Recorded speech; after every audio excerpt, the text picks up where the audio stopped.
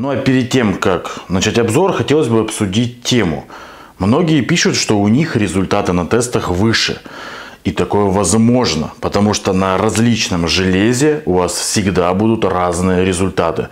Именно поэтому я всегда тестирую на одном и том же. А переходы на новые платформы у меня происходят редко. Но скоро будет переход на AM5, и там мы тоже проверим, будут ли какие-то изменения.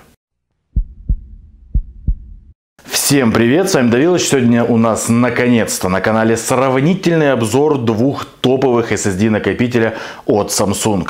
980 Pro объем 1 терабайт и 990 Pro.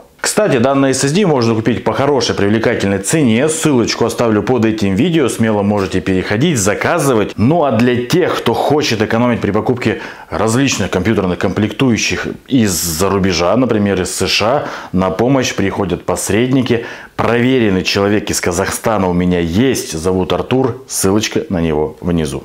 Наконец-то, друзья, наконец-то появилась возможность сделать сравнительный обзор лоб в лоб два очень интересных SSD. Недавно на канале вы уже могли видеть отдельные обзоры на каждый из этих SSD, но ведь как-то стало непонятно. Вроде бы 990 Pro и быстрее, вроде бы где-то лучше, а вроде бы и нет. И сегодняшнее видео поможет нам в этом разобраться. Сегодня будем тестировать все на железе. Это у нас материнская плата ROG Maximus 13 Apex от Asus. В M2 разъемах, работающих по процессорным линиям. Процессор 11700K, оперативная память 2 по 16 от HyperX или Kingston. Ну и, собственно, системная SSD Intel Optane P5800X на 400 гигабайт. Сегодня надо нам узнать, Стоит ли покупать 990 Pro, стоит ли переплачивать за него и что мы получим, купив 990 Pro по сравнению с 980 Pro. Ну и конечно же хотелось бы отметить и немножечко обсудить внешний вид, потому что изначально, как я говорил ранее, мне казалось, что 990 Pro это просто разогнанный 980. Но если мы посмотрим на плату, посмотрим на ее физический вид, на распайку, на элементную базу, то мы с вами видим, что они отличаются. Ну и с большей долей вероятности получается, что все-таки заявления компании Samsung верны и здесь используется новый контроллер Samsung Pascal. А теперь давайте к тестам. Материнская плата Maximus 13 Apex имеет возможность установки 4 M2 SSD накопителей. Два устанавливаются через переходник DIMM2 а, слот и 2 M2 разъема верхний и нижний. Оба скрываются под радиаторами, оба радиатора массивные. И вот эти два M2 разъема, они как раз работают по процессорным линиям. То есть на процессоре у нас 20 линий PCI-Express 4.0. В случае использования видеокарты и верхнего разъема у нас никаких сложностей нет. Все работает как положено. 4 линии на M2 и 16 линий на видеокарту. В случае, если мы подключаем второй M2 разъем, то линии видеокарты у нас снижаются до 8. Соответственно 4, 4, 8 и еще 4 линии у нас остаются остаются свободными. Оба радиатора у нас достаточно массивные, просто нижний имеет большую площадь для отвода тепла, верхний меньшую. Но я буду тестировать под верхним радиатором у нас 990 Pro, под нижним 980 Pro. Ну и посмотрим, будет ли какая-то разница. В любом случае на температуру мы в данном тесте обращать внимание не будем, потому что у нас радиаторы хоть и хорошие, но разные. Верхний радиатор, под которым будет стоять 990 Pro, вам давным-давно знаком. Это вот такой вот достаточно крупный брусок, который используется на каждом SSD. Здесь у нас термопрокладка от Laird, вот, которая уже такая поношенная временем, но до сих пор у нас этот радиатор показывает великолепные результаты по отводу тепла и аккумулированию тепла от накопителя, от контроллера SSD. А вот что касается второго радиатора, то под ним у меня на постоянной основе используется тот самый Samsung PM9A1 на 2 терабайта, с которого мы копируем папочку рендер объем 100 гигабайт. В этом тесте, конечно же, этого SSD не будет, потому что его место займет 980 Pro а, на 1 терабайт. И да, друзья, тоже массивный, причем огромный по площади радиатор. Есть тоже у нас термопрокладка от Laird, благодаря чему у нас тепло отводится на вот эту вот огромную площадь. Что касается веса, то, наверное, вот этот все-таки будет потяжелее. Хотя Да, наверное, все-таки чуть-чуть, но потяжелее, а значит и поэффективнее в качестве аккумулятора будет все-таки вот этот брусок. Ну а по площади рассеивания эффективности, я думаю, вот это тоже у нас очень даже достойный вариант. Так что давайте устанавливать и переходить к тестам. Итак, после установки у нас прошло 15 минут времени. Диск D это у нас 980 Pro, диск F это у нас 990 Pro. Видим по количеству записанных и по количеству включений раз, что нам 990 Pro досталось на обзоре побольше, чем 980 Pro, но дело не в этом.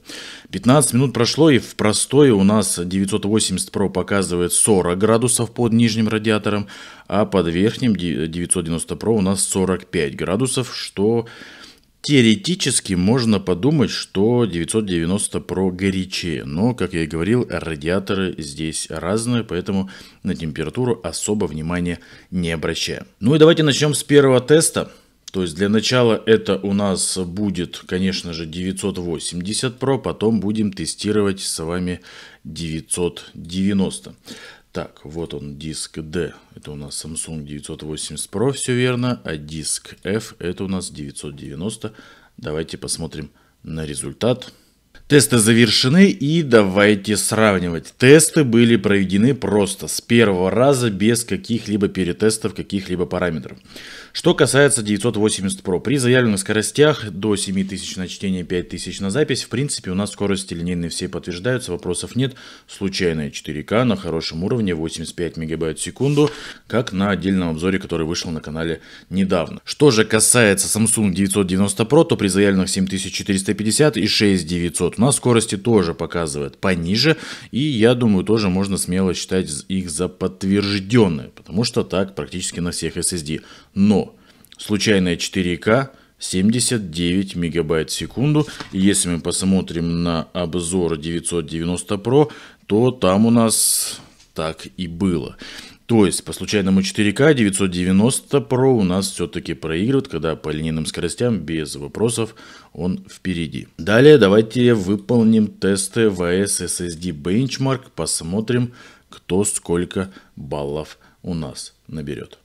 И здесь мы с вами видим явное преимущество 990 Pro над 980. И если мы посмотрим, то это у нас связано со скоростью записи. Именно со скоростью линейной записи и на случайном 4К. Кстати, если мы сравним, то здесь, да, у нас то же самое. Хотя есть и такие параметры, например, по чтению, которые ниже, чем на 900 80 Pro, но в целом 990 Pro, да, выигрывает наглядно и VS SSD Benchmark тоже. Теперь также давайте сравним мелкоблочку э, в тесте, то диск Benchmark на каждом SSD. Тоже очень интересно узнать, что же у нас здесь будет. И здесь мы с вами получаем хорошие скорости на мелкоблочке на обоих SSD, но скорость чтения у 990 Pro все-таки пониже, чем скорость записи. Кстати, еще по какой-то причине у нас вот такой вот рваный график получился на записи. Что-то я не припомню, что это было в обзоре точно так же. Хм, очень интересно. Что ж, сейчас давайте мы с вами проверим, как ведут себя накопители на игровом бенчмарке 3D Mark.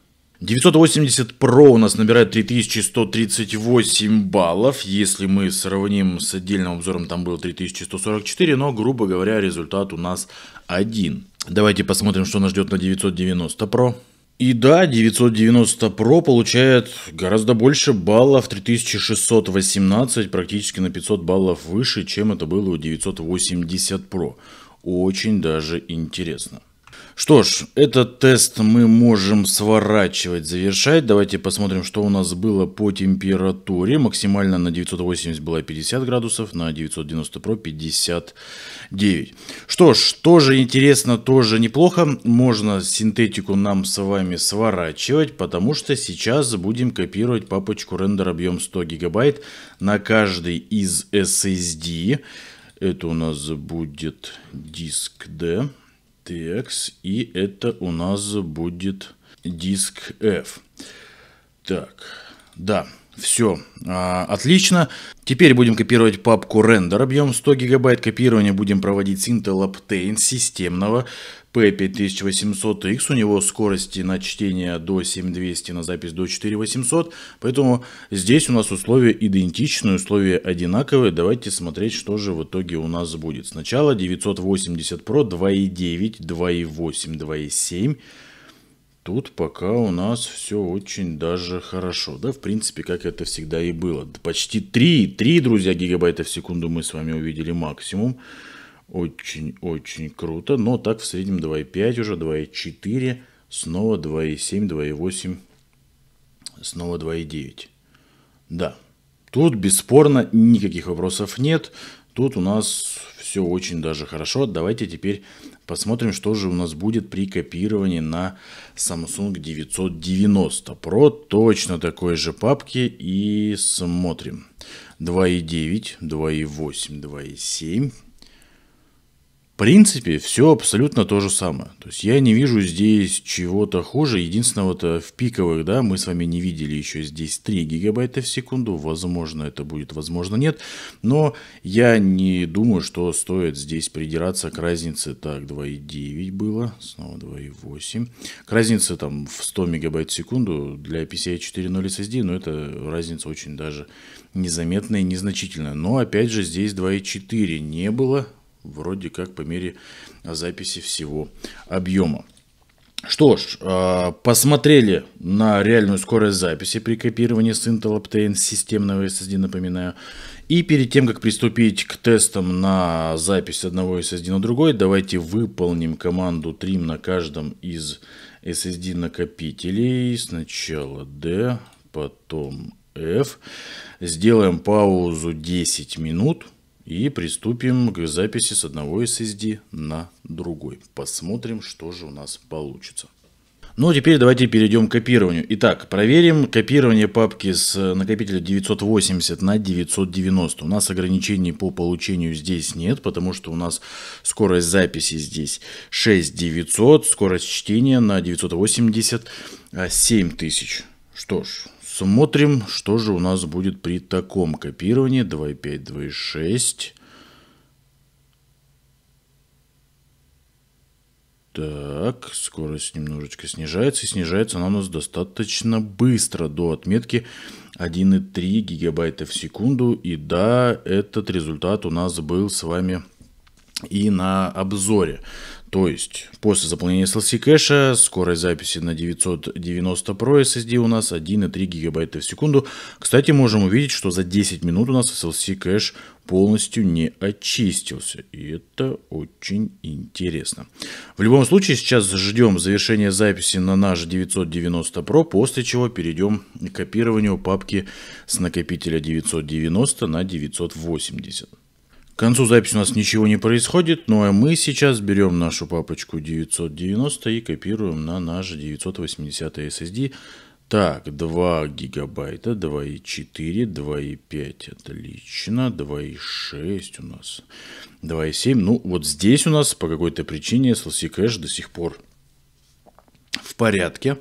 И смотрим, что же у нас будет Дальше. SLC кэш у нас явно не забьется, и поэтому здесь, здесь очень интересное поведение. Почему все-таки на 980-м SLC кэш очиститься не успел, а на 980-м все без проблем у нас очистилось. В любом случае, мы с вами увидели так. Ну, давайте-ка мы с вами для того, чтобы увидеть наглядный пример по скорости записи за пределами SLC кэша на 980 у нас выше чем на 990.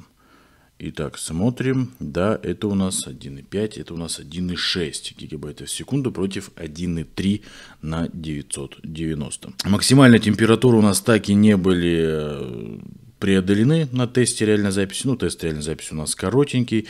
В любом случае, 990 прошечка у нас разогрелся сильнее, чем 980. Такие вот результаты. Давайте подводить итоги. Тесты сделаны, результаты получены, и результаты очень интересные. Прямо вот я, несмотря на то, что я сделал отдельно обзоры по каждому из SSD, я очень хотел увидеть, что же будет наглядно. Потому что тесты были сделаны, грубо говоря, одним дублем, без каких-либо там перетестов и прочего. Запустили Crystal Disk Mark, получили результат. Запустили Crystal Disk Mark на втором SSD, получили результат. И что мы с вами видим? А видим мы то, что у нас результаты отличаются не так уж и сильно. Да, Samsung 990 Pro оказался быстрее по линейным скоростям, здесь нет никаких вопросов, но и там скорости заявлены выше, чем на 980 Pro. Но вот что касается случайного 4К чтения, то здесь сюрприз и скорости, кстати, все повторяются из э, отдельных обзоров. У нас 980 Pro на случайном 4К на моем железе оказался быстрее. И это подтвержденный факт. Если мы берем следующие бенчмарки, то мы снова с вами видим, что AWS SSD Benchmark 990 Pro чуть лучше. Что же касается игрового бенчмарка 3D Mark, то там 990 Pro показывает себя получше и причем заметно. Но стоит нам начать копировать данные на эти SSD, причем копировали мы с рабочего стола, с Intel Optane, у которого 7000 на чтение, и мы с вами увидели, что в принципе, вроде бы как, одно и то же нам показывают эти SSD. Но в пиках, в моментах 980 Pro оказывается быстрее.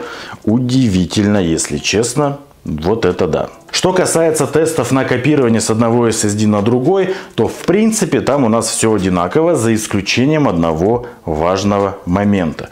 Несмотря на то, что я сделал команду trim через оптимизацию дисков и на том и на другом SSD, там примерно да, одновременно, после паузы 10 минут у нас SLC кэш на 990 почему-то не очистился когда на 980 никаких проблем не было. Что касается скоростей при перекидывании между SSD, то да, там 2,6 гигабайта в секунду и там, и там. Но, как это было в отдельных обзорах, скорость записи после заполнения SLC кэша э, на 300 мегабайт в секунду быстрее на 980 Pro. Здесь у нас 1,6 гигабайта в секунду, здесь у нас 1,3. И после всех проведенных тестов итог у меня получается 1.